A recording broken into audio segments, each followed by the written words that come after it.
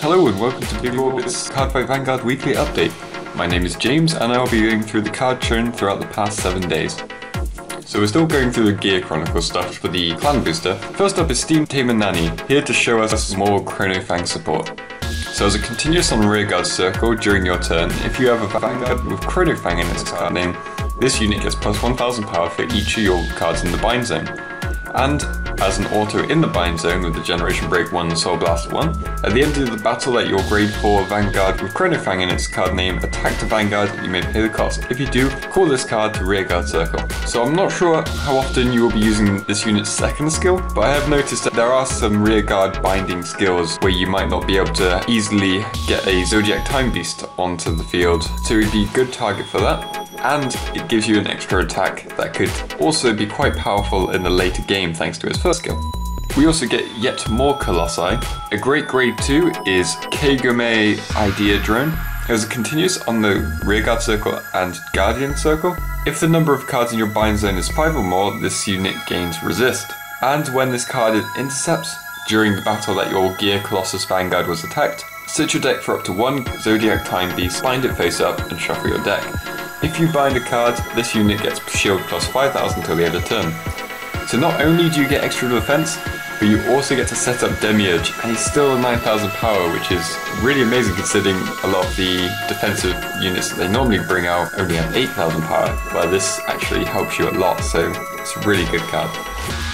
A new triple R grade 3 for Colossi is Prospathia Idea Drone. So there's an auto on the Vanguard Circle once per turn, Generation Break 2, Soul Blast 1 and choose one of your grade 2 or less Guardians and bind it face up.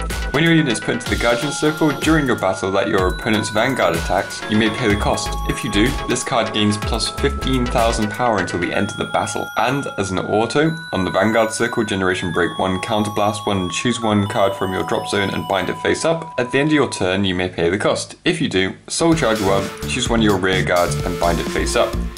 If you bind a card, your opponent chooses one of his or her rear guards and puts it to the bottom of his or her deck. So this thing is just a huge bind machine, and I feel it makes a great backup for Chrono Fang Tiger. especially like his first skill as it buys you time which you need to set up for Demiurge anyway, and it makes Quintet Walls a lot more useful as you can choose anything from the Quintet Wall which, where the chances are good there is going to be a Zodiac Time Beast in there, so you can bind that and get extra power. So it's really really amazing 3. But another grade 2 Colossi is Diaperno Idea Drone. So there's an auto on the rearguard circle, counterblast 1, and bind the top card of your deck face up. When this unit attacks a Vanguard, if you have a Gear Colossus Vanguard, you may pay the cost. If you do, until the end of the battle, this unit gains plus 2000 power and an auto on the rearguard circle. When this unit's attack hits, set your deck for up to two cards, choose a card from among them and bind it face up, and put the rest into the drop zone, and shuffle your deck. If the card you bound with this effect is a Zodiac Time Beast, you countercharge one.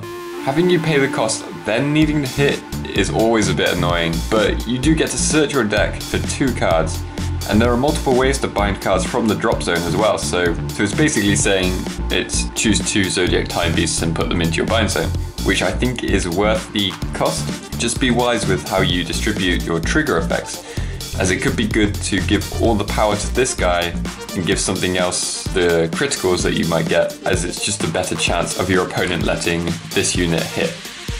Lastly for Gear Colossi is a grade 1 Voltero Idea Drone.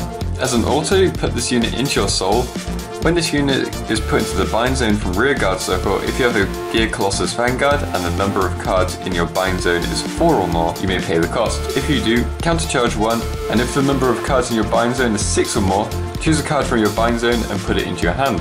Choose a card from your hand and put it into your bind zone face up.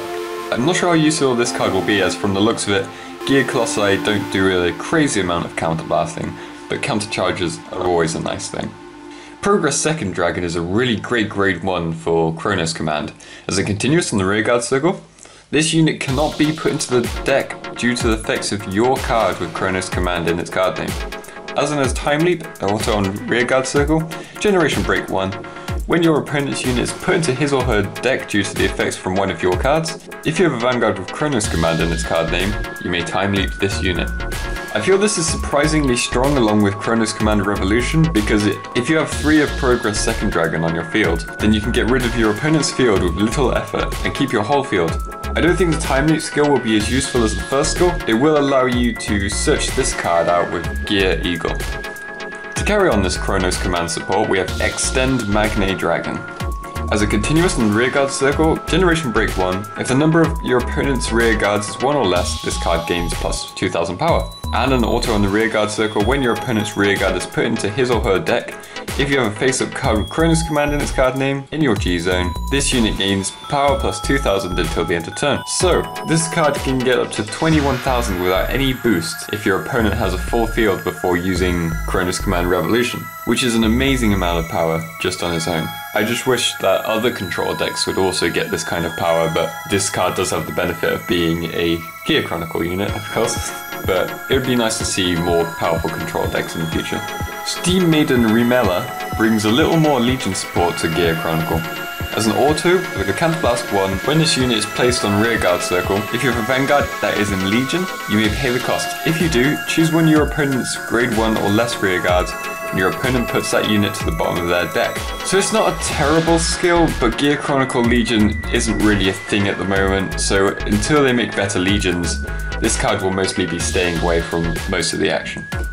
A couple of Zodiac Time Beasts from the trial deck have been revealed. Chrono Beat Buffalo is a simple grade 2, with continuous on the rearguard circle. If you have a grade 3 or greater Zodiac Time Beast on your Vanguard circle, this unit gains plus 2000 power and Chrono Ethos Jackal, who has auto on the rearguard circle, Generation Break 1, and when this unit attacks a Vanguard, if you have a Zodiac Time Beast on your Vanguard circle, this unit gets plus 4000 power until the end of the battle. Jackal is easily the better of these two, as being able to have a grade 1 that can attack for 11,000 is always great, but at least if their skills aren't that great you won't feel as bad for constantly binding them. Now I saved this for last, as I know there are a lot of mixed feelings about this clan. But two new cards for Touken Ranbu have been shown. The first one is the grade 1 named Mitsuno Kami Yoshiyuki Tobu, and has a continuous and rear circle with Shinken Hissatsu, where it's a limit break for if you only have 3 damage, this unit can attack from the back row. And there's an auto on the rear guard circle, Generation Break 1, Counterblast 1 and Soul Blast 1. When this unit attacks a Vanguard, you may pay the cost. If you do, this unit gains plus 9000 power until the end of the battle. So it's pretty nice to see a 16k grade 1 that can also attack from the back row, though the cost is quite pricey with a Counterblast and a Soul Blast, but you will definitely see use, as it could be a really great attack on your opponent, especially if they're not expecting it. And the second one is a grade 3 for the trial deck, who is Kogitsune Maru Toku.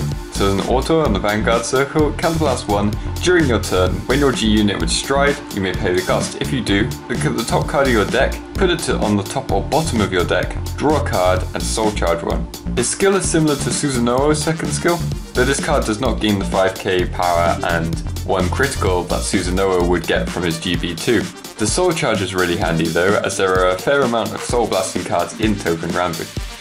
So that is all the cards for this week. If you have any questions about the ruling, feel free to leave them in the comments section below and I will try and answer them as best as I can. And if you want to stay up to date with all the Vanguard news, be sure to watch next week's episode where I will be going through the card shown throughout the next 7 days. So I'll see you then. Bye!